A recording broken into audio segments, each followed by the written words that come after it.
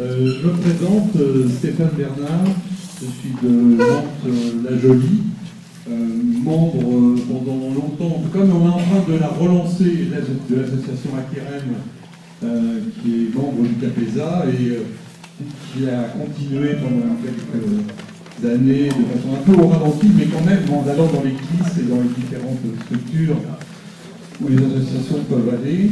Euh, je suis là aussi parce que j'étais donc euh, membre du collectif Plein sans F1 et je remplace au pied levé, ou presque, euh, Yvan Guéhec qui aurait dû présenter la réunion ce soir. C'est ça qui avait été, qui avait été prévu. Et donc à partir du collectif sans F1, Yvan a développé un site, c'est devenu le collectif Sans Fin, euh, et, qui est un site remarquable que je pense beaucoup d'entre vous connaissent et qui permet effectivement de se tenir au courant de, l'actualité euh, autour euh, de, des luttes environnementales, écologiques et même au-delà. Et il fait ça avec beaucoup de, beaucoup de talent et beaucoup de constance. Et, et vraiment, c'est un, un, beau travail. Donc, je vais le remplacer là ce soir. Alors, ce qui a été prévu, c'est la chose suivante. Donc, euh, Fabienne va dire quelques mots sur l'objectif de la, de la réunion, vous êtes à peu près au courant.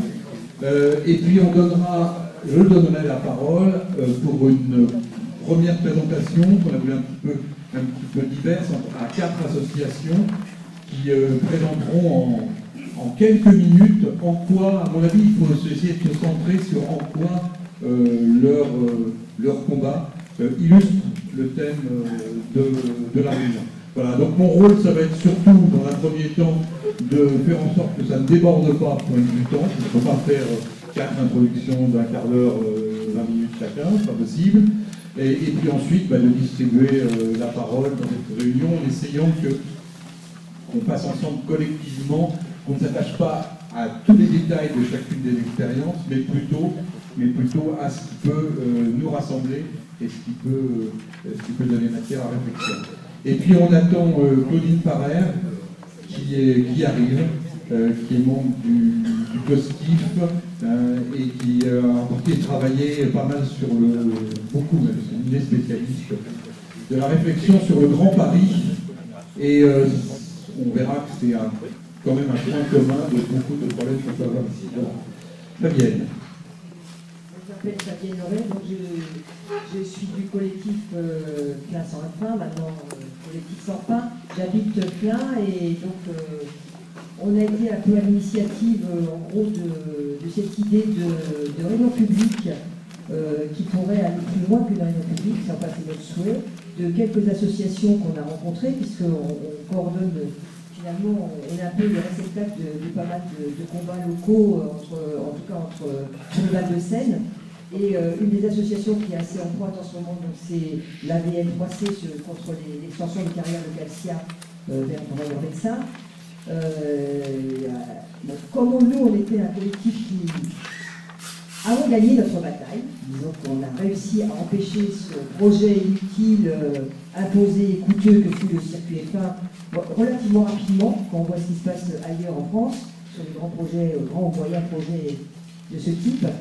Euh, parce qu'on a eu un concours de circonstances, c'est vrai, mais aussi on a une mobilisation importante, euh, citoyenne et très collective. Donc on, pense que c'est important d'aider, de, de, voilà, de, donner un peu les moyens qu'on a eus. Euh. Alors on s'est dit qu'on a, eu, a eu plusieurs contacts avec plusieurs associations, on a lancé l'idée, il y a, il y a, aussi l'association la, d'Argentville qui, qui fait grâce au combat, et puis euh, l'association Non Pont d'Achère, qui est une grosse association, et l'association qu'on connaît bien, qui était aussi membre du collectif euh, F1, euh, le CCVSV, le collectif pour la circulation en Val de Seine et puisque c'est tout à côté des, tous les problèmes de circulation autour de Volant, bureaux, etc. Euh, donc voilà un peu l'objectif. Il y a d'autres associations qui ont été contactées qui ont signé le draft d'appel à cette réunion. on l'a rédigé collectivement à l'appel. Et c'est un appel qui peut servir euh,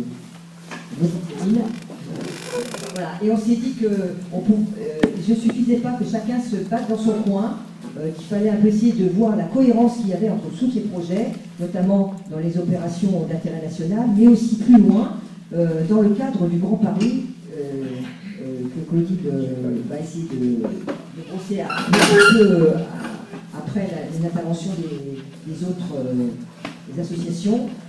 parce que ce sont des sujets, nous on savait quand on avait terminé le conflit sur le CFUFA, on savait que ce qui nous attendait, c'était l'opération d'intérêt national et le Grand Paris qui allait impacter tout le monde euh, jusqu'au avant presque. Donc euh, on savait que ça, pouvait être un, un, un ciment parisien euh, sur lequel on pouvait s'appuyer pour expliquer quels étaient ces projets de bétonnage, entre autres, et, d'accaparement de, terre de façon exponentielle pas seulement, et qui détruisent aussi la vie quotidienne des gens sans concertation. Le grand problème de tous ces projets, c'est non seulement que ça détruit l'environnement, etc., et puis que ça, ne crée pas d'emploi, mais surtout que ce sont des projets opaques qui ne, euh, qui ne sont pas du tout discutés démocratiquement euh, euh, en, concertant les, habitants, les premiers concernés. Voilà. Donc j'arrête là et on va, je repasse la parole à Stéphane. Alors, donc, euh, comme annoncé, je vais passer la parole à Antoine Mille pour l'association euh, Non Pont et puis, euh, puis pour le CCBSV, c'est le Comité pour la circulation.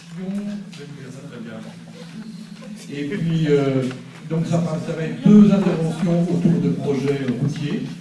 Et puis, ensuite, on passera à l'association de Gargenville euh, avec, euh, avec, Christian Pirot et euh, Pierre-Marie Darnaud, et Dominique Pellegrin pour la VL3C, donc de, de Carcia, l'extension des, carrières de Carcia. Donc, bah, donc Antoine, Antoine Mille, a priori, donc 5 minutes, on va essayer. Donc moi, je me présente Antoine Louis, donc je suis président de l'association Monde d'Achère, donc qui, comme son nom l'indique, se bat contre le projet de Monde d'Achère que le département des Yvelines veut nous imposer par-dessus l'île de à carrière sous possible. Donc moi j'étais intéressé par la démarche d'aller un peu au-delà de, ce territoire euh, venir un peu de ce côté voir d'autres associations.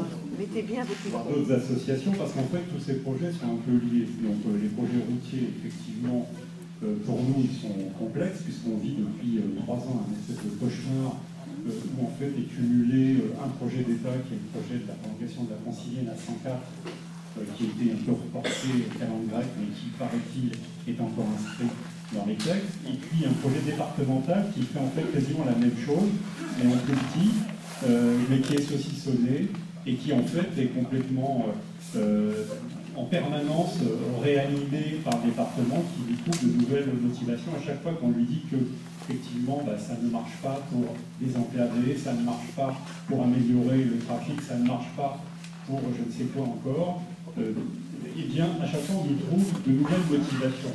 C'est dire qu'il y en a peu et que c'est simplement la volonté du prince le fait en fait de, détourner euh, la circulation d'une ville pour en fait faire un projet qui obligatoirement en amènera d'autres. Donc euh, la difficulté qu'on rencontre, c'est qu'effectivement, c'est comme pour toutes les associations, on nous oppose en fait le bon droit, euh, que ce soit le département et aussi les services de l'État, qui nous disent, bah, écoutez, si vous êtes contre le projet, allez au tribunal, et puis le droit prime en France. On se rend compte qu'après être passé déjà au tribunal administratif, donc tous les, tous les requérants, en avait sept, ont tous été balayés d'un verre de main, ils étaient tous différents, toutes les motivations étaient différentes. Donc on voit bien qu'en fait on a une justice de territoire aussi, et il faut bien se rendre compte que ça peut arriver à tout le monde, que quels que soient les projets euh, dont vous allez peut-être entendre parler tout à l'heure, ça peut vous arriver chez vous, et à ce moment-là, bah, vous ferez comme nous, c'est-à-dire vous sortez en fait de votre petit égoïsme qui au quotidien fait que chez vous vous êtes très bien, et vous vous rendez compte que d'un seul coup, on vous ment, toutes les motivations qu'on vous, oppose, ce sont des contre-vérités. On vous raconte en fait que c'est pour faire un truc alors que ça ne le fait pas.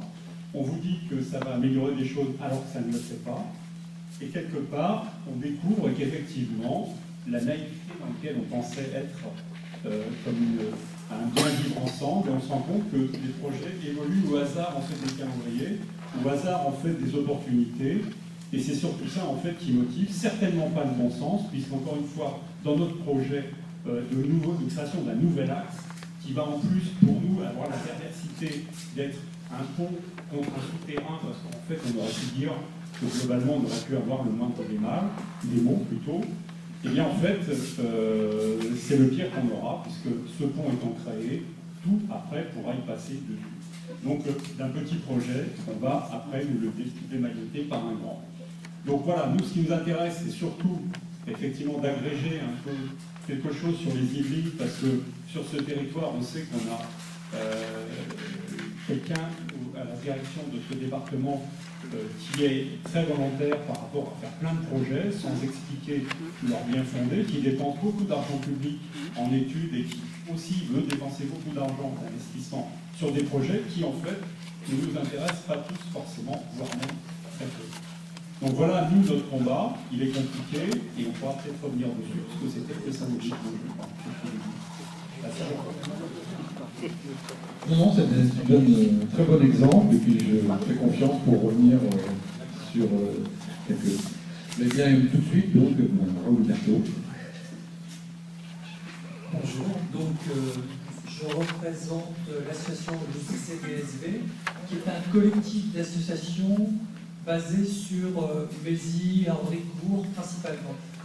Donc l'objet de l'association, c'est une, longue histoire, une histoire assez ancienne, puisque à l'origine, le collectif d'association s'est euh, mobilisé contre le doublement du pont de Melan qui était prévu dans les années 70 pour passer donc, du pont de Melan les bureaux, des deux ponts, euh, pour le franchissement de la Seine. Donc si aujourd'hui le CCDS existe toujours, ce, doublement n'a pas eu lieu, mais depuis, il y a eu de nombreux projets, et notamment un projet euh, qui visait à, relier l'A13 à l'A15 par une voie qui traversait le parc du Vexin.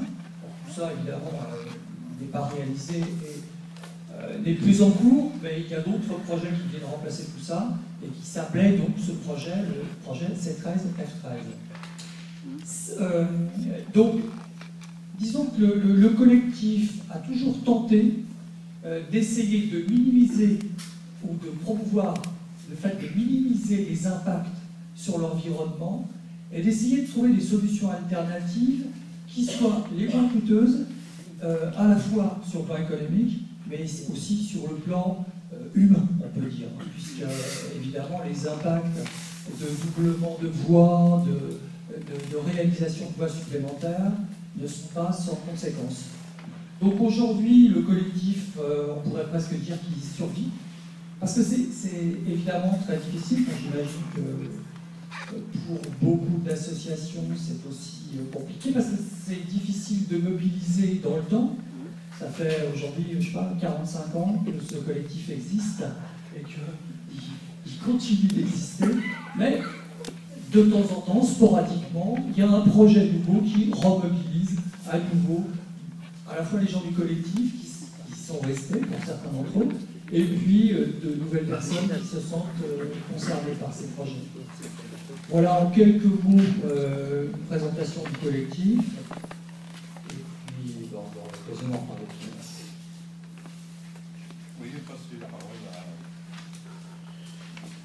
Bonsoir, Christian, l'association Gargenville Seine-Vexin.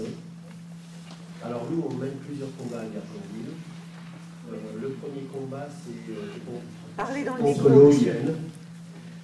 Et euh, au début, le projet a été présenté sur 6 hectares 700 donc pour un projet de 300 logements.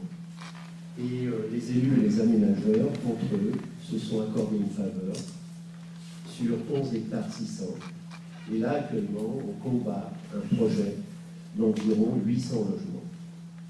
À cela s'ajoutent certaines zones à Gargenville, et on peut prévoir 1000 euh, logements actés pour le moment en 2019 et un projet de 2500 pour 2030. On combat également des nuisances routières sur Gargenville. Vous connaissez les ponts de Seine Gargenville certainement dans la région. Euh, une heure d'attente certaines, euh, certaines journées, le matin, le soir. Donc 2500 logements, ça paraît aberrant. 1000 logements pour 2019, ça paraît quand même assez incroyable pour le moment. Euh, sans concertation avec la population, sans même dévoiler les projets auparavant. À cela s'ajoute également un pige sur les carrières qui nous intéressent évidemment de Bourreil en médecin. L'usine cimentière est à Gargenville. Elle est en fin de vie, obsolète. Donc une pollution redoutable, on peut le dire, puisqu'on n'a aucune étude qui nous revient aucune étude également de la part de l'État. Donc je pense que si euh, personne ne prend les devants actuellement aujourd'hui pour euh, la région, on s'en va vers une catastrophe. Une catastrophe euh, routière, écologique, et puis sur l'habitat également, parce que des petites villes villageoises comme Gargenville, avec 6 900 habitants, passer à 15 000 habitants en si peu de temps. Euh, les rues ne sont pas adaptées, le contexte n'y est pas non plus. Donc euh, voilà à peu près l'ensemble de notre combat, de notre bataille euh, en perspective aujourd'hui. Dominique. On monte dans le Vexin. On monte dans le Vexin, c'est pas loin, hein, c'est 30 km au-dessus de Gargenville ou 5.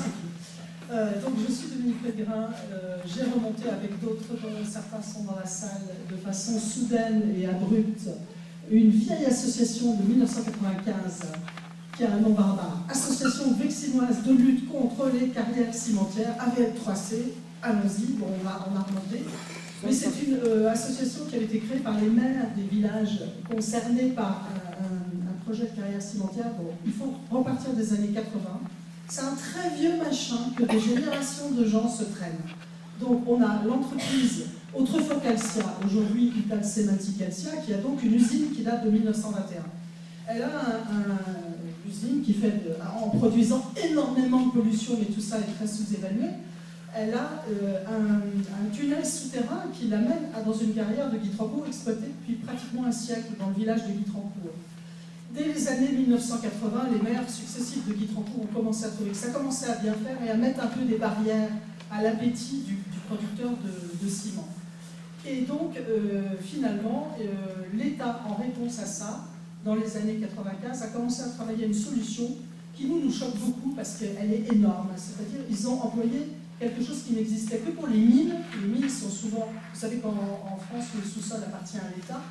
Donc il y a quelque chose qui s'appelle la zone spéciale, qu'on appelle zone 109 euh, en raison d'un ancien article du Code minier, qui fait qu'on applique un droit spécial, c'est-à-dire qu'en gros, la personne qui veut exploiter les, mines et puis finalement les carrières, dans ce cas précis, c'était la première fois que ça se passait en France, euh, a tous les droits, y compris d'exploiter si les propriétaires ne veulent pas vendre ou louer ou rien du tout.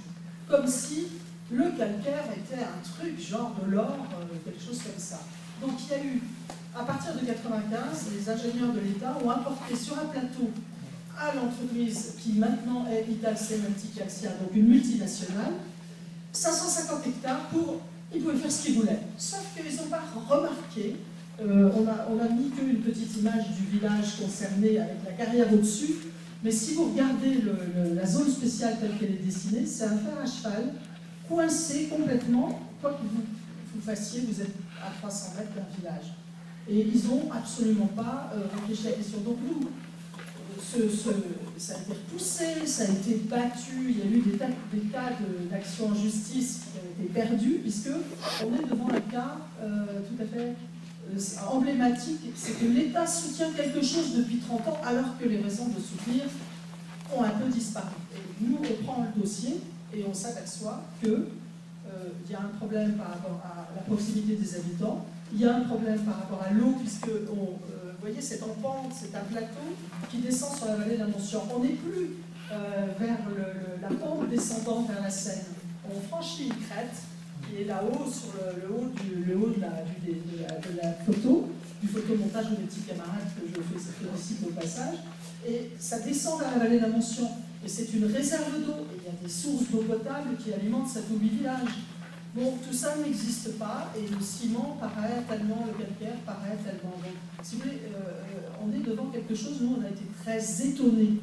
On a, on a réactivé notre association, on a 300 adhérents et on a été très étonnés de voir que l'État n'entendait pas ce qu'on disait sur attendez, vous ne pouvez pas faire des tirs de mine à 300 mètres des habitations, attendez, vous ne pouvez pas euh, aller exploiter sous la nappe phréatique de ce, plateau qui alimente, enfin, qui alimente la motion et qui alimente aussi en eau. Vous voyez, donc on est devant euh, un cas de quelque chose où l'État soutient l'industriel parce qu'il y a 30 ans, euh, il a décidé qu'il fallait soutenir l'industriel. Il y a 30 ans, on voulait effectivement maintenir la production.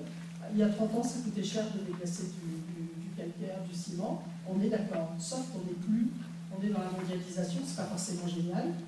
Euh, L'entreprise Calcia qui euh, représentait beaucoup d'emplois autrefois et qui représentait quelque chose dans la, de valeur et dans le paysage de la région, c'est une multinationale. Elle, elle a 103 emplois, ça c'est leur chiffre, hein, euh, pas plus. Les emplois, il y en a tout autant. euh, euh, quelque part là-haut, il y a une ferme il y a une entreprise de travaux publics qui emploie 40 personnes.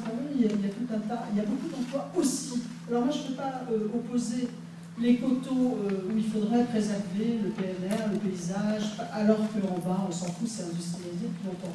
Je trouve qu'il faut mener une réflexion sur quelle industrialisation on veut. Est-ce que ça vaut la peine de garder ça? Parce que si on repart pour une carrière, c'est 30 ou 60 ans. Cette usine qui date de 1921, euh, n'a pas été vraiment euh. Tout ce qu'on a cherché, on n'a pas trouvé qu'elle était vraiment euh. Donc nous, on est, euh, en tant que citoyens et habitants, avec toutes ces questions qu'on essaye de faire passer chez le sous-préfet et chez Gassia quand on les rencontre. Et on est dans une lutte contre le fait, et on est soutenu par le PNR, on est soutenu par les maires sur l'idée que on peut peut-être pas faire ça comme ça, euh, là maintenant, aujourd'hui, alors que l'eau est quelque chose d'extrêmement précieux euh, pour l'avenir, alors que euh, peut-être que cette entreprise pourrait être, cette, pourrait être reconvertie à faire autre chose autrement. On demande qu'il y ait un vrai débat public et pour le moment, merci à vous parce que voilà, ça fait partie du débat qu'on en discute, mais euh, pour le moment, auprès du sous-préfet qui est notre interlocuteur et de Galcia, euh, ben, ils sont un peu autistes, on va dire, euh, on n'est pas très entendu. Je vais dépasser 5 minutes? Voilà. C'est très bien. Alors, première étape, je vous propose une première étape déjà. Il me semble qu'on a face à nous des projets qui viennent d'experts de l'administration, relayés ou suscités, on ne sait jamais dans quel sens ça marche, euh, par des projets politiques et par des projets industriels. Bon, il y a à peu près ces trois types de, choses qui peuvent exister. Et dans ce qui été dit, on voit que c'est des projets qui tombent d'en haut, qui, sont par petits bouts, ce qui fait que c'est très difficile, et c'est en particulier sur les questions routières, ça je pense qu'Antoine pourra même le- l'expliquer, euh, l'explique dans leur texte euh, très bien, et sur lesquels il n'y a pas d'études sérieuses. Parlons même pas de, démocratie de consultation, simplement même d'études sérieuses. Et on le voit à différents moments, et en particulier sur tous les impacts euh, environnementaux, autres, de santé publique, de, euh, sur l'eau, sur euh, différentes choses, etc. Voilà. Alors donc, on a à peu près ça. Donc, première étape de, de la réunion, entre parenthèses, on est 80, j'ai compté. On était- on n'était pas persuadé qu'on serait aussi nombreux que ça ce soir. Et, je pense que c'est aussi un moyen pour relayer euh, beaucoup plus loin un certain nombre de, ces combats. Alors, peut-être que par rapport à tout ça, à toutes ces choses qu'on a listées dans les Yvelines et qui montrent euh, une perspective de, transformation profonde à l'échelle de 10 ans, 15 ans, 20 ans euh, de, tout le nord du département, il y a une chose qui revient, c'est la perspective du Grand Paris, qui est un peu euh, l'explication euh, qui se veut suffisante. En tout cas, le, ben, vous comprenez bien qu'avec le Grand Paris, il faudra bien, euh, vous comprenez bien que le Grand Paris implique que vous n'allez quand même pas rester en dehors du Grand Paris, etc. Alors c'est pour ça que l'idée a été lancée, je trouve excellente, d'inviter Pauline Parler, qui fait partie du, du et qui travaille depuis des années, enfin pas seulement travailler, d'ailleurs elle travaille et elle lutte avec d'autres sur cette question du Grand Paris. Et on a pensé que ça pouvait effectivement, qu'elle pouvait nous donner un éclairage euh, sur sur un petit peu ce qu'il y a justement en amont. Hein, en amont de nous, puisqu'on est, on est la scène aval, donc, et qui va venir nous englober à partir de ces plans qui ont été décidés, qui sont en train d'être mis en place.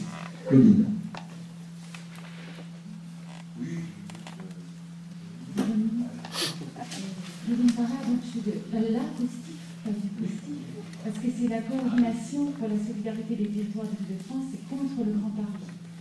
Euh, cette coordination s'est constituée il y a déjà deux ans, euh, un petit peu avec, euh, l'idée que vous développiez au début, c'est que, en fait, on s'aperçoit qu'il y a des projets que nous, on appelle inutiles, on viendra là-dessus, un petit peu partout en Île-de-France, et que chacun de notre côté, on se battait et qu'il fallait faire le lien entre tous ces, combats, voir ce qu'il y avait de commun, voir en fait qu'il y avait effectivement un, grand projet par-dessous, c'est-à-dire le grand projet du Grand Paris, composé d'un tas de petits grands projets, si je puis dire, inutiles, et qu'il était important de se mettre ensemble pour, euh, combattre ensemble, et voir que bah, ce qui se passe à, à Gonesse ou, dans les Sommes, c'est les les mêmes projets et les mêmes problèmes qui se posent. Et donc, depuis ces deux, deux années qu'on a, s'est constitué, à la fois on intervient euh, pour, expliquer un petit peu comment on voit les choses, mais aussi on intervient concrètement avec des actions un petit peu choc euh, qui sont d'aller remettre un, parfum d'or au, bétonneur du plateau de ou bien un galop d'or euh, au siège de champ, ou des choses comme ça. Enfin, mais c'est des oui, c'est tout à fait choc, c'est plein d'humour, avec des clowns, la brigade de clowns qui intervient avec nous. Ah, bon, non, Laurent, de toute façon, ils ne sont pas là généralement. Hein. Nous n'avons pas beaucoup les interlocuteurs en face de nous. Donc, on a à la fois des actions un. Là, récemment, on a distribué au Salon de l'agriculture un, charte que, j'ai mis à disposer là-bas sur la table, qui explique à la fois la problématique Grand Paris sur laquelle je vais revenir, et puis qui a ciblé les, des problèmes spécifiques de disparition des terres agricoles. Et donc, on l'a distribué au Salon de l'agriculture, ça s'est très, bien passé d'ailleurs. Et euh, certains d'entre nous avaient des masques, fabriqués par euh, le comité Notre-Dame-des-Landes des espèces euh, en voie de, enfin, des espèces protégées qui risquent euh, qui sont très menacées à Notre-Dame-des-Landes. Et donc, voilà, on a à la fois des actions un peu, un peu festives et en même temps un travail sur le fond qui a été de travailler à partir de données chiffrées. Hein. Certains d'entre nous ont, beaucoup travaillé sur des données pour voir un petit peu la réalité des choses et, expliquer en fait et essayer de démontrer ce qui est derrière Grand Paris. Parce que de notre point de vue, le Grand Paris, c'est vraiment quelque chose qui avance de façon tout à fait masquée. Euh, il y a eu des, avant, avant la loi de 2010, il y a eu déjà des, opérations d'intérêt national qui ont été faites, puisque je crois que ça concerne aussi bien Sénégal que, que d'autres territoires de France. Mais je dirais que ça a commencé effectivement à ce moment-là que l'État prenne la, direction des choses au mépris de, ce qu'il pouvait se faire localement. Et puis c'est la loi Grand Paris qui a vraiment euh, euh, organisé un projet pour l'île de France sans dire, et c'est bien ça le problème, c'est que beaucoup de, beaucoup de gens ont cru au démarrage que la loi Paris, c'était simplement un projet de transport qui allait améliorer leur quotidien. Et bien évidemment, euh, la loi Paris, ça n'est pas que ça. D'abord, elle dit très très clairement au démarrage, dans son premier article, qu'il s'agit aussi euh, de, de, développer l'attractivité internationale. Alors Paris est déjà très très bien placé sur ce plan-là, mais enfin ça c'est un autre problème. Et, et surtout donc de mettre en place des pôles de compétitivité. Le, réseau de transport qui était prévu dans le cadre de la loi de Paris initialement, euh, et qui n'était pas le projet de la région de France, c'était vraiment un projet de transport pour relier les centres financiers, les, pôles économiques et, les pôles de compétitivité qui devaient être faits aux aéroports. Et en même temps que cette loi Grand Paris donnait donc des, direction pour le, transport. Elle a mis en place d'autres outils, euh, donc on ne va pas rentrer dans les détails parce que c'est un peu technocratique tout ça, mais elle a aussi mis en place dans cette loi un, pôle scientifique et technologique sur le plateau de Saclay qui est inscrit dans la loi, donc on, en parlera tout à l'heure. Et alors en fait, ce qui se passe, c'est que évidemment, les élus, chacun de leur côté, ils ont dit bah, c'est vraiment intéressant, on va avoir un transport euh, près de chez nous, donc on veut notre gare, on veut notre petit bout de transport. Et en fait, c'est là qu'a été organisée la mise en concurrence des élus, je pourrais dire, et, le fait que finalement, il n'y a jamais eu de débat démocratique sur qu'est-ce que c'est que cette loi Grand Paris, qu'est-ce qu'elle installe et quels sont les projets qui sont sous-jacents. Le projet sous-jacent, c'est donc à la fois de mettre huit pôles de compétitivité, c'est-à-dire avoir encore renforcer l'attractivité internationale, faire venir encore plus de cadres, de personnes hyper qualifiées, avec ces huit pôles de compétitivité étant censés être les, lieux où, il y aura le plus d'emplois et d'activité économique, c'est-à-dire qu'ils concentreront plus de 90% d'activité et des emplois. Ce qui veut dire que que, se passe-t-il ailleurs dans le reste du territoire? Et c'est bien là qu'on dit, nous, qu'il y a un problème majeur, c'est qu'en en fait, cette loi, cette loi Grand Paris, elle organise vraiment euh, l'inégalité territoriale au sein même de la région de France en développant des, zones euh, où il y aura les emplois et l'activité économique et des zones qui seront des zones de déshérence, euh, qui sont des endroits qui sont des réserves de main-d'œuvre. Euh, c'est donc bien pour ça qu'il faut ce réseau de transport, hein, pour transporter les gens. C'est donc pas l'amélioration des transports en commun attendue, même si effectivement maintenant avec euh, l'évolution, le débat public qui a pu avoir là-dessus, il y a des, choses qui, sont, qui, vont dans le bon sens, mais, mais en réalité, il faut bien voir ce qui est, c'est que le réseau de transport euh, du Grand Paris, il va en concurrence directe avec le, le financement de l'amélioration des transports au quotidien. Alors, donc, on est vraiment dans cette logique-là de l'hypercompatibilité, de, de, la mise en place de, pôles, et donc avec le contexte aussi qu'on va en, même temps euh, euh, accroître les possibilités de logement pour les gens, et, euh, là, là-dessus aussi on est dans l'illusion la plus totale, parce que initialement, il y a quelques années, on disait qu'il faudrait construire 60 000 logements par an en Ile-de-France. Le Grand Paris a dit non, non, il en faut 10 000 de plus. Mais, donc et, c'est vrai qu'à ce moment-là, pourquoi, pourquoi rajouter des lignes de plus par an? Parce qu'il faut faire venir encore des gens en Ile-de-France. Donc on est dans toujours cette idée de faire accroître l'Île-de-France et non pas de résoudre d'abord les problèmes quotidiens des, franciliens et donc d'attirer encore plus de monde en Ile-de-France. Il faut voir que l'Île-de-France, c'est quand même une, région extrêmement riche, la plus riche d'Europe. On a 2% du territoire en superficie, on a 20% de la population, 30% du pays du PIB, et c'est là qu'il les, cadres, à 80% viennent, sont en Ile-de-France. La, structure de, l'emploi fait que les cadres se retrouvent en Ile-de-France et qu'on fait venir aussi un jeune sur, deux en Ile-de-France quand il a, un, quand il a un, diplôme qui est qualifié. C'est là aussi que un, tiers, un, des habitants de l'Oise ou euh, de l'Eure viennent tous les jours.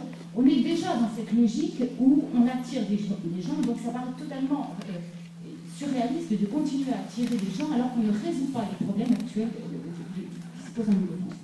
Alors, on a, je disais, ces pôles de compétitivité, à, la fois, c'est des pôles qui, sont vraiment ciblés par le Grand Paris, par le projet, mais ce qui est, très intéressant, c'est que ça a laissé libre cours à, la, démesure d'un tas de, projets en même temps qui sont apparus. C'est-à-dire que dans ce cadre-là, il y avait, donc, je vous disais, Saclay, sur le plateau de Saclay, donc là, on, on est dans l'idéologie de rassembler, de déplacer des organismes de recherche et des centres des universités sur le plateau de Saclay, c'est-à-dire faire venir, déplacer au quotidien des gens qui, bien sûr, euh, sont domiciliés ailleurs, donc on va renforcer les besoins de déplacement, renforcer les, nécessités de logement. On est donc non pas dans la création d'emplois, mais bien sûr dans le transfert d'emplois, et ceci sur euh, un plateau qui a déjà perdu 400 hectares, 1000 euh, euh, hectares de terres agricoles et qui va encore perdre 400 hectares dans cette opération, puisqu'elle se fait au détriment des, terres agricoles avec un projet de métro sur, cette zone-là, ce qui est vraiment en fait une urbanisation masquée. Pourquoi? Tout simplement parce qu'en faisant des déplacements d'organismes, on, a des opérations immobilières fantastiques Initialement, il y avoir un déplacement de la fac d'Orsay qui est à tout côté du RER pour la montée sur le plateau de Saclay. Les chercheurs ont beaucoup protesté, donc finalement, ça va pas faire en entier, mais c'est des sommes colossales qui pouvaient être récupérées pour faire la promotion immobilière tout près du, RER. E On est vraiment dans des projets qui sont des projets du, BTP ou des projets des grands groupes financiers. Il faut bien vraiment ça. L'autre projet, c'est l'ONES, dont vous avez sûrement entendu parler. Le projet de construction d'un centre commercial dans un champ. Euh, avec un, projet de, piste de ski. C'est euh, oui, de, piste de ski d'abord. Alors, aller en cours, exactement, c'est ce que je sais, c'est que ça, a libéré, euh, je dirais, les, les fantaisies les plus. Donc, un projet de piste de ski à cours, le vélodrome de Saint-Quentin qui s'est fait, il y a le village nature au seine qui est en train de se faire, c'est-à-dire un projet absolument monstrueux de sur des terres, il ne faut pas que des terres agricoles, mais des espaces naturels dans son ensemble, avec un projet d'installer 5000 euh, cottages et, appartements pour en faire le plus grand centre nature quasiment de France, avec 11 000 mètres carrés de, s'appelle pas piscine, c'est un peu plus géminant dans ces cas-là. La quoi, je sais pas quoi, c'est ça, voilà. Et, et, donc une partie qui va être en plein air et chauffée à 30 degrés en permanence. Alors, nous, on va accueillir la conférence climat en décembre et dire qu'il faut se pencher sur les, problèmes monstrueux de cause climat. On a aussi monté son ici, vous savez, le projet d'urbanisation de la, de comme on dit. Euh, il y a aussi des projets comme euh, de stade de, de grand stade dans les Sommes.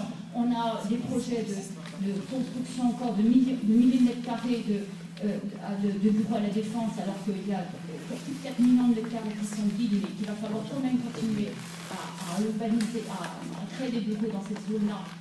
On sait très, très bien que ça, aggrave encore les, les, déséquilibres entre logement d'un côté et bureaux de côté, et donc ça veut dire ça encore encore les besoins de transport.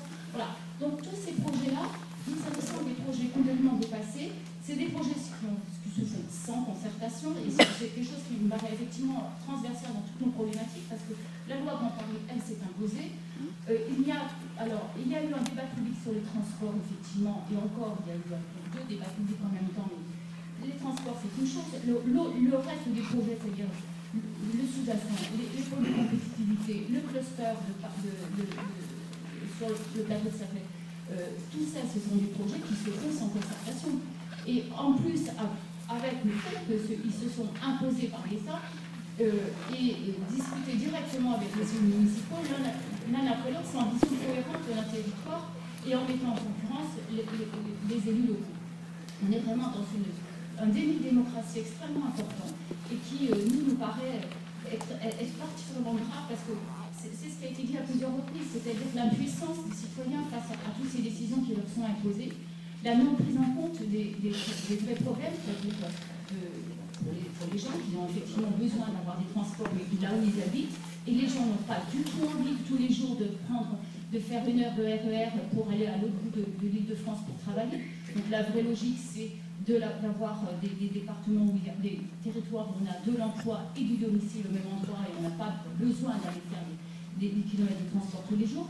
La logique, c'est de garder des terres agricoles en défense, puisqu'on est passé en dessous de la barre des, 50% de terres agricoles depuis l'année dernière. Donc, on continue de faire nos terres agricoles, alors qu'on sait qu'on doit absolument avoir une, agriculture initiale. On doit préserver aussi euh, nos, zones de biodiversité.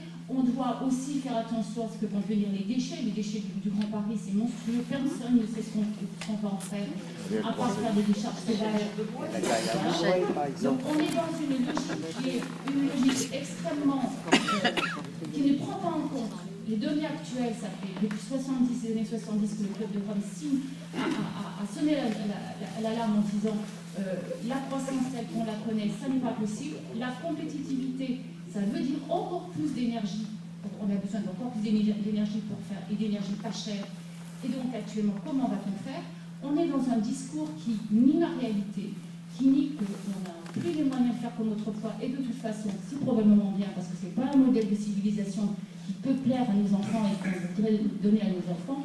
Donc c'est vrai que là, on est dans un une démocratie sur lequel on n'a pas de prise et sur lequel on est en face à la fois de vieilles idéologies et de lobbies euh, financiers industriels qui, qui, font ensemble le fait, euh, qui font ensemble des chemins sur, que, nous, nous, nous, réfusons et contre lesquels nous nous battons tous les jours. Merci Tony. Euh, Antoine, tu voulais rajouter un petit mot? Oui, alors c'est vrai que c'est complémentaire la notion d'intérêt public, parce que nous, on a été confrontés euh, en pleine face sur cette notion-là, pu l'apprécier euh, le déroulé de notre petite enquête publique euh, sur notre projet de pont. Donc je vous rappelle l'originalité de la situation. Donc on a deux projets au même endroit, un projet d'État qui passe en souterrain sous un petit endroit charmant qui s'appelle l'île de la Nation, et un deuxième projet du département qui passe un pont par-dessus. Donc on se dit en toute bonne foi qu'il doit y en avoir un trop, il y a quelque chose qui ne va pas. Or, si vous voulez, il y a eu une concertation qui a été euh, organisée en 2009, où là, le département a fait preuve d'à peu près de bon sens, a dit, bon, on va peut-être attendre que l'État développe quelque chose sur son projet à 104. Et puis, ne voyant rien venir, d'un seul coup, alors qu'on ne savait même pas ce qui allait se passer avec la 104, le, le département lançait son enquête publique. Alors évidemment, euh, on, a été quand même un petit peu interpellé euh, d'avoir à, se manger 450 pages d'enquête publique, quelque chose de très mal fait, assez indigent. Donc les bras vous entendent, on s'est lancé dans, cette conquête de lire des trucs que, personne n'avait jamais lu, puisqu'il y avait un tissu contre-vérité qui était écrit dedans, donc ça avait au moins le mérite de pouvoir les nommer. Donc on a euh, fait un mémoire où on a expliqué, expliqué, posé des questions aux commissaires enquêteurs qui en étaient abasourdis parce qu'il n'avaient jamais vu autant de participation sur un, projet routier qui est en fait un petit projet de 6 km avec un pont et qui fait partie d'un ensemble, puisqu'il y en a déjà eu un qui a été lancé 4 euh, ans par le département. Donc le commissaire enquêteur, en fait, au bout de sa consultation qui dure, je vous rappelle, un mois, on a obtenu 15 jours de plus, euh, a conclu par un avis défavorable. On s'est dit, bah, donc, nous, c'était presque champagne, on était hyper content d'avoir au moins pu poser des questions. On a au moins pu poser des questions, mais on n'avait toujours pas les réponses. Or, le département, euh, puisqu'il en a l'obligation, a revoté en cette plénière le fait qu'il il, relançait le projet sans strictement rien y changer, en disant ben, c'est indispensable pour je ne sais pas quoi, le désenclavement de trucs, le, machin de je ne sais pas quoi. Et alors du coup, euh, à notre grande stupéfaction, le préfet qui lui, on pensait qu'il pouvait avoir un avis neutre là-dedans, mais pas du tout. Lui, il a cassé en fait l'avis du commissaire enquêteur, il a déclaré l'utilité publique du projet. Alors là, nous, on s'est dit, c'est quand même incroyable, donc on a non seulement regardé la réalité de ce qu'il y avait dans ce dossier, donc il y a évidemment, euh, par rapport à l'utilité publique, tout ce qui est dérogatoire euh, à euh, l'environnement. C'est-à-dire qu'à partir du moment où vous obtenez l'utilité publique, tout ce qui est petits oiseaux, faune, flore, tout ça on s'assoit dessus, puisque c'est à ça qu'en fait ça sert. Donc ça c'est vraiment la première étape, c'est de dire que en fait ça ne compte absolument pas. Mais même vis-à-vis des humains, c'est-à-dire nous qui habitons dans un endroit particulièrement préservé, parce que je vous rappelle qu'il n'y a pas de voiture, donc pas parce que euh, est plus riche que les autres, c'est parce qu'on a trouvé cet endroit qui était sympa. Il n'y a pas que nous, il y a des gens d'Acher, il y a des gens de Conflans. On se rend compte qu'en étudiant le dossier avec les études de trafic qui ont été cachées en plus, n'ont pas été données lors de l'enquête publique, on se rend compte que euh, sur deux plans qui étaient à peu près favorables, les 100 autres étaient complètement défavorables en fait pour justifier ce projet. Donc, qui dit effectivement enquête sur une approche de trafic très faible, dit effectivement des grosses nuisances sur la santé des gens, puisque, évidemment, ce ne sont pas les mêmes taux de fréquentation d'automobile qu'on va avoir, ce pas les 40 000 véhicules jour, ça va monter à 110 peut-être, voire même sur le pont de Conflans, un truc hallucinant, en 2030, avec le cumul de la francilienne et effectivement de la fête d'air que va créer ce pont, peut-être 230 000 véhicules jour sur le pont de Conflans. Aujourd'hui, la 13 à Orgeval, c'est 75 000 véhicules jour. Donc c'est un truc qui est complètement démentiel. C'est pas nous qui le disons, hein, parce vous êtes incapable d'écrire des trucs aussi bêtes. C'est les études qui ont été payées par le département.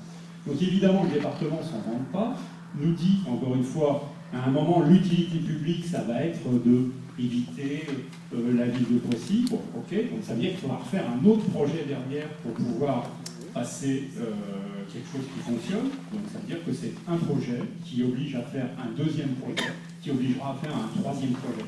Donc effectivement, tout cet ensemble de colonnes de neige fonctionne assez bien. C'est-à-dire qu'on crée un tel déséquilibre que pour effectivement faire que les gens arrivent à vivre décemment, ben, ça oblige à retraiter les équipements, ça oblige à reconditionner au-delà des logements, dont on va aussi opposer la réalité des 100 des 10 000 qu'on va créer dans la, ville de Chanteloup.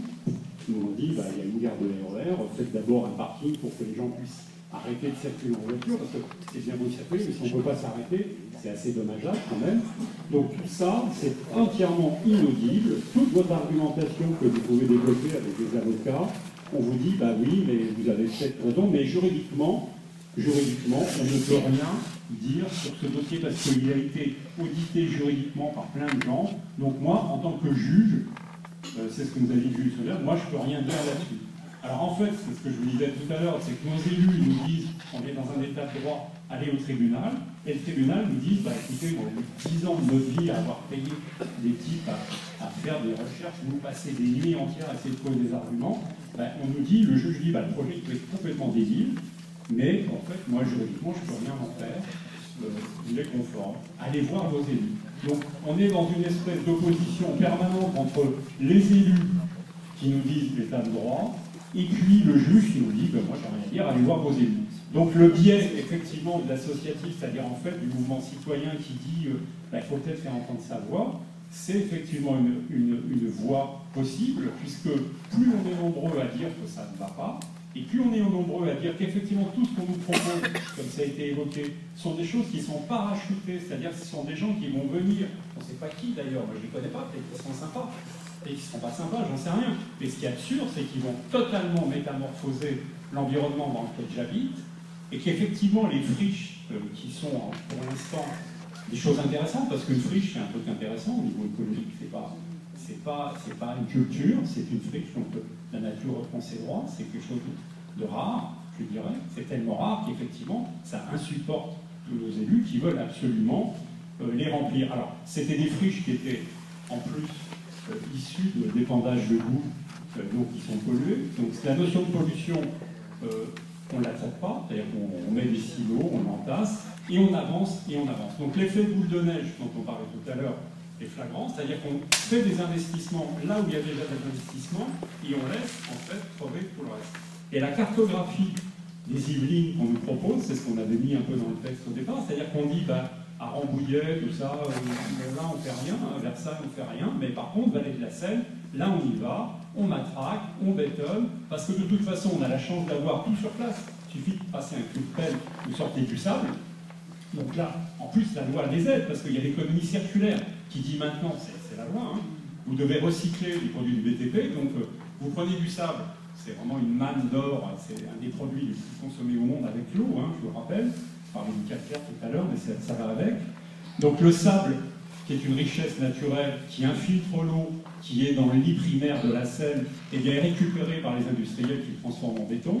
Et en compensation, on nous met des déchets dont on ne sait pas trop ce que c'est, mais ce qui est sûr, ce sont des déchets qui sont compactés, des déchets qui n'infiltrent pas de la même manière et qui rendent quasi en plus inconstructibles ces terrains, puisqu'ils seront en plus avec des, fondations qui seront très difficiles à, à, créer. Donc on voit bien qu'on est dans un problème global où effectivement la cartographie des Yvelines est complètement métamorphosée, et j'ai bien apprécié ce que vous avez dit par rapport à l'espèce de Disneyland qu'on nous propose, c'est-à-dire qu'il y a des endroits sympas, il y a des endroits moins sympas, il y a des endroits pour travailler, il y a des endroits pour se détendre. On voit bien qu'on essaie de reconditionner tout ça avec effectivement des vecteurs de circulation, mais est-ce que c'est ça qui nous intéresse? Est-ce qu'on nous a demandé notre avis? Certainement pas. Et pour conclure, le problème c'est que tout ça se fait avec notre argent, et notre argent, c'est pas beaucoup d'argent, c'est énormément d'argent.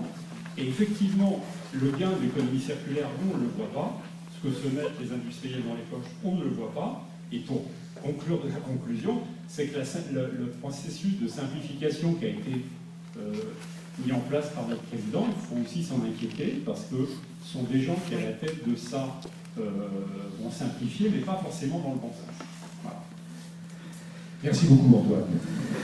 Alors, juste euh, deux minutes, Dominique, euh, sur l'intérêt général. Tu peux expliquer ce qui vous, vous allez être concerné par ça aussi? Nous, on est sur le coup d'un PIG, c'est-à-dire que le préfet peut à tout moment, il va le faire d'ici, quand les élections seront passées, euh, prendre ce qui s'appelle un PIG, un projet d'intérêt général, pour justifier ce qui n'est pas justifiable juridiquement. C'est-à-dire qu'on passe par-dessus, on va laisser euh, la multinationale passer à travers une continuité boisée de tout qui est protégé. Euh, euh, on ne peut pas passer à travers cette continuité, mais avec un projet d'intérêt général, on va pouvoir. Et donc c'est là où s'affrontent effectivement deux logiques d'intérêt général.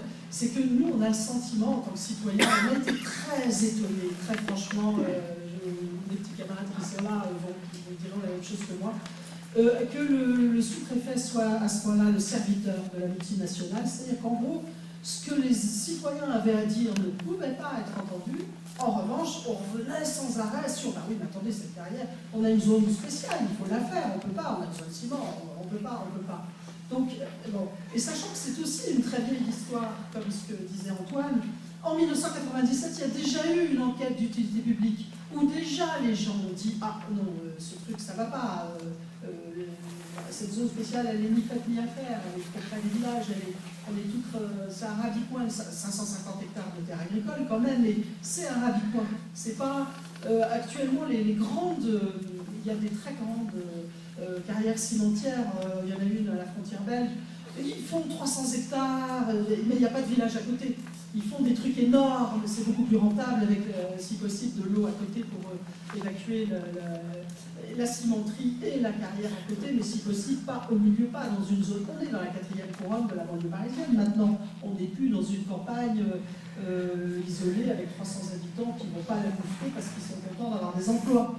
Donc, effectivement, il y a deux visions d'intérêt général, et nous, on est très étonnés en toute sincérité du fait que les autorités, euh, enfin les représentants de l'État et des services de l'État soient à ce point inféodés à un projet industriel que plus on, l'étudie, plus il nous paraît reposer sur des choses anciennes. Euh, la carrière, l'usine, bon, c'était complètement valable il y a encore 30 ou 40 ans, mais il est possible que dans la quatrième couronne parisienne, il faille repayer. Là, on est très léger, parce que nous, on est dans le dossier il y a pile un an, moi, j'aimerais qu'on ait un peu de, de, vista, de, dire, mais nous, les citoyens, on veut un autre mode. Euh, je suis complètement d'accord avec l'idée, euh, j'ai lu aussi les articles, je ne sais pas si c'était de vous, mais sur le côté disneyisation des choses, on va faire des endroits touristiques, et après, il y aura des délaissés où on fera n'importe quoi. Bon, c'est à nous aussi d'essayer de, pousser nos élus, de, pousser à, des choses plus équilibrées, en particulier le respect de l'eau, de la terre agricole, de l'environnement, mais pas les petits oiseaux, les petits machins complètement détachés de, la vie, du concret, des choses que, font les gens, qu'on puisse déplacer, aller travailler euh, à 40 km, etc. C'est très très très compliqué, mais je trouve qu'il faut. Enfin, nous, on a la chance de tomber dans un dossier, on est obligé de bosser. Donc euh, bon, bah, on bosse, voilà. Eh bien, merci euh, Dominique. Alors, qui veut la parole? Faire un peu d'exercice.